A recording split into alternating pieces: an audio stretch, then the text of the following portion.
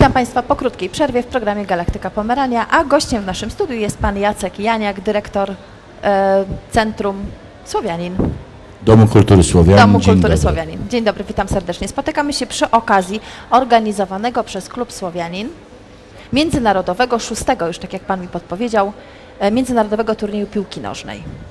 E, Jestem z wykształcenia nauczycielem i zawsze mnie interesowało, co tu zrobić, żeby młodzi ludzie mówiący innymi, różnymi językami, mieszkający w różnych państwach europejskich, zechcieli przyjechać do Szczecina i spotkać się ze swoimi rówieśnikami. I pamiętam 6 lat temu, jak prezydent miasta Piotr Krzystek powiedział, że skoro Szczecin nie jest już e, terenem rozgrywek grup eliminacyjnych Euro 2012, zróbmy wszystko, żeby piłka w Szczecinie była bardzo popularna. Ja z wielką ochotą i przyjemnością e, odpowiedziałem na apel prezydenta i wymyśliłem, że zawsze w Szczecinie w okolicach e, maja i czerwca będzie rozgrywany w Szczecinie międzynarodowy turniej piłki nożnej, a uczestnicy zawsze będą mieli lat 14. I w tym duchu i w tej idei y, doczekaliśmy szóstej edycji i już 13 czerwca do Szczecina przyjadą przedstawiciele e, Ukrainy, przyjadą przedstawiciele Niemiec i Litwy. W sumie będzie to 240 chłopców, którzy od 14 do 16 na boiskach sportowych Miejskiego Ośrodka Sportu i Rekreacji Pogoni Szczecin będą rywalizować na trzech boiskach trawiastych. E, Fajnie jest, że nie mamy już dzisiaj problemu. Przypominam sobie początki, kiedy jako Dom Kultury Słowianin wystosowałem różne zaproszenia, żeby kluby piłkarskie zechciały przyjechać. Okazuje się, że mając fajny pomysł i będąc przekonany co do jego realizacji, nie trzeba być działaczem sportowym, żeby móc realizować taką ideę.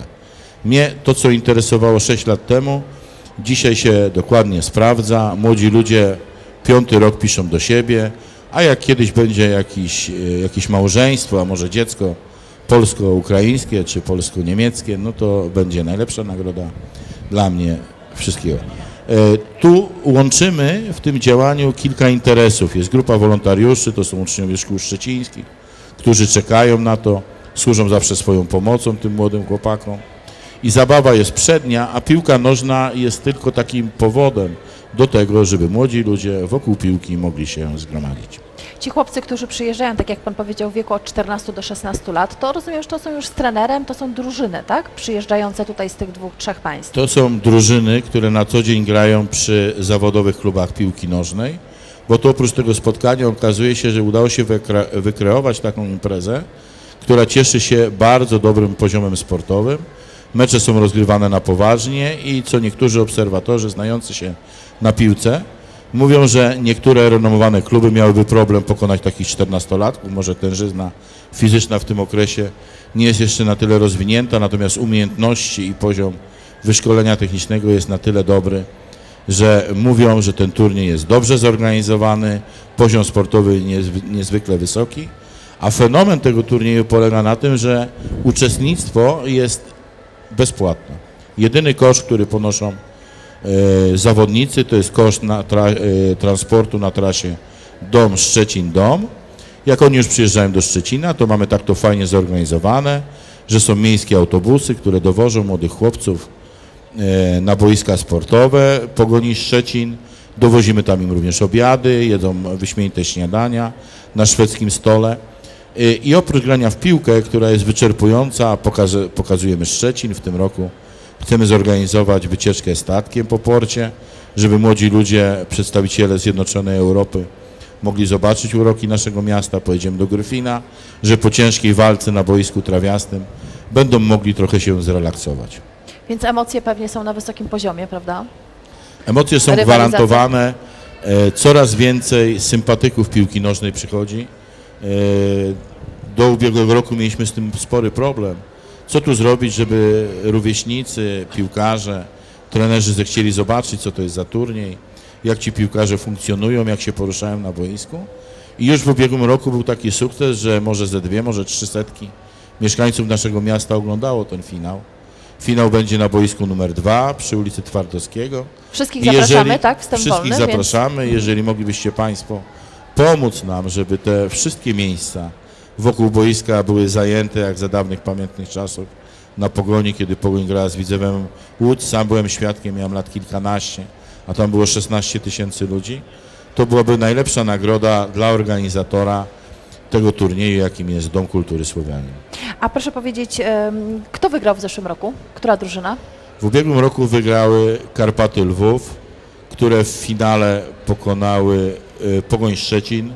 Mecz niezwykle pasjonujący, do końca trzymający w napięciu i poziom sportowy, który prezentowali 14-latkowie był niezwykle wysoki.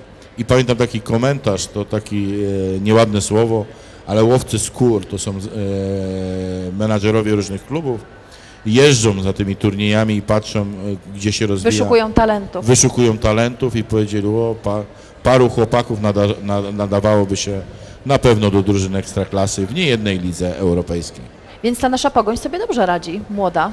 Bardzo dobrze sobie radzi. Są fajni i mili e, trenerzy. Jest taki nowy duch. Nam się bardzo dobrze z Pogonią Szczecin, która jest współorganizatorem tego przedsięwzięcia, Pogoń 04 i te kluby sportowe, które są w naszym mieście. Fajnie, że się e, jednoczymy w tym, e, w tym przedsięwzięciu, bo myślę, że cała siła tej naszej przyszłej polskiej piłki jest organizacja wielu imprez o tematyce piłkarskiej.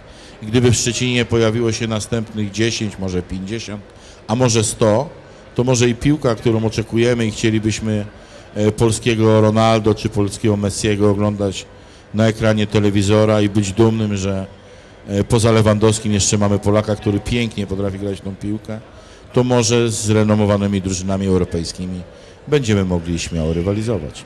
Ja myślę, że mamy pewnie następców Ronaldo, tylko sztuka polega na tym, żeby ich e, zauważyć, żeby dać im szansę się wykazać, dostrzec talent, no prawda? właśnie, to jest, to jest myślę najważniejsze, co trzeba by zrobić, bo trudno uwierzyć, że w, w kraju, w którym mieszka blisko 40 milionów, 40 milionów ludzi nie mamy talentów piłkarskich na miarę Messiego stworzyć- czy, Le, czy Lewandowskiego nawet, prawda? No, czy nie możemy stworzyć drużyny 20 młodych, zaangażowanych, umiejących e, grać w piłkę, którzy zało założą e, koszulkę z orłem na piersiach. Przekonany jestem. I takie turnieje e, są ogromną nadzieją. Tak? Są nadzieją również na budowanie takiej prawdziwej Europy. Ci, co wymyślili Zjednoczoną Europę, wspólną Europę, podpisali jakieś dokumenty i listy intencyjne, natomiast to, co nas bardzo interesuje, że dzisiaj nie ma granic, żeby dzisiaj ludzie młodzi się ze sobą spotykali, to mogą wytworzyć tylko oni. Nie politycy, e, nie działacze, tylko młodzi ludzie poprzez takie prywatne kontakty, choćby na najniższym szczeblu. Wiem, że spotykają się w Szczecinie przedszkolaki szczecińskie z przedszkolakami z Pasewalku, piękne przedsięwzięcie.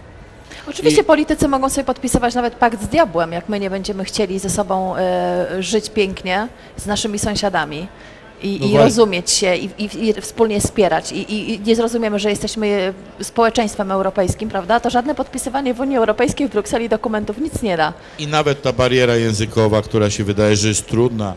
E, Tu jeszcze chciałbym pochwalić e, młodzież naszą ze szkół szczecińskich, którzy w relacjach przy posługiwaniu się językiem angielskim wypadają niezwykle okazale, wręcz bardzo dobrze.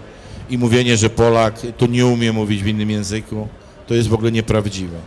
Piękne są naprawdę obrazki, kiedy siedzą sobie gdzieś tam na ławeczce po trudnym dniu, gdzie trzeba było rozegrać dwa bądź trzy spotkania i mają sobie tyle do powiedzenia, że te dyskusje przeciągają się nawet do późnych godzin nocnych. A z czym wiązałby Pan, e, bo pewnie Pan się interesuje piłką nożną nie tylko wśród młodych 14-16-latków, ale też już tą dorosłą ekstraklasą. Co takiego dzieje się w polskiej piłce nożnej? Skomentowałby Pan to krótkim, krótkim słowem, że tak sobie nie radzimy? Oj, proszę pani, nie wiem.